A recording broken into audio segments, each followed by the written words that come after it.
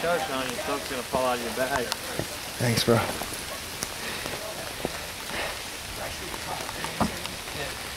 Yeah, so the, I'll just like, grab these two by fours and we'll fucking out.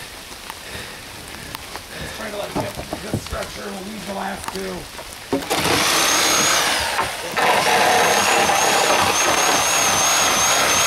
I kind of promised them we'd take apart something. You know what I'm saying? That's what else, of course, dudes. Falou, Diário.